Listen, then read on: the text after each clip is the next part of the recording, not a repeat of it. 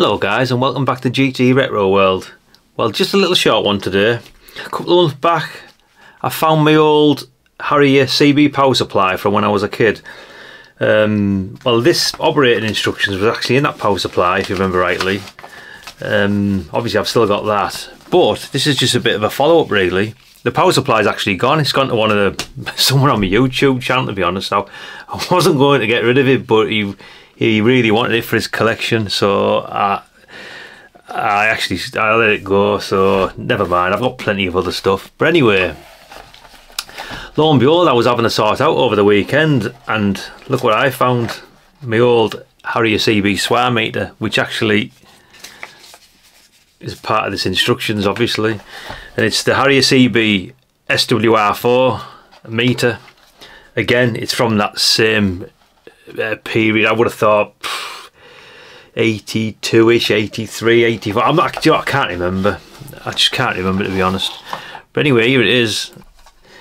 I, it's a bit of a weird one really because it was in a box with all junk from like cassettes and stuff when I was a kid and I, I, I presumed it had gone missing years ago but um, yeah there it is look unbelievable yeah the SWR4 meter and that I bought myself all, all those years ago from uh, Dixon's. I haven't tried it yet, so we'll give it a quick go. Um, it's just a basically an SWR meter, no power or anything like that. So it's, you know, it's actually built quite well.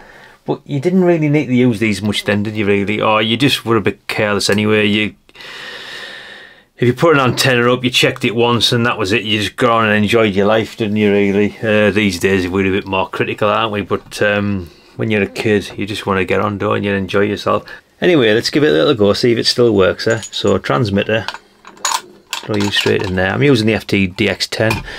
I've got it down to 10 watts, but I've just noticed in the manual there, or the, the operating instructions for this SWR meter, it'll take 100 watts, which is actually pretty incredible, really. But anyway, let's give it a go, eh? Let's turn that down a bit, power's down, away from anywhere. Have a little look. Yeah, chucking it down one to five there.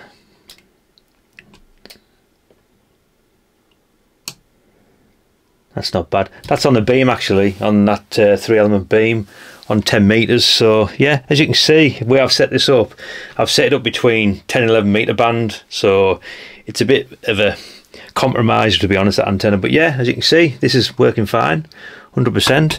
Um, I just noticed the instructions there. Um, another thing as well, it actually, frequency range is obviously, it's 1.7 to 30 megahertz, 100 watts at 27 megahertz. In fact, I'll just a little quick brief look at this uh, operating instructions. If you need to zoom in on that, just zoom in. That's all it is really. I think I see, you might have seen it in the last one, but uh, yeah, unbelievable, works fine there. Another bit of a surprise as well when I found this was this.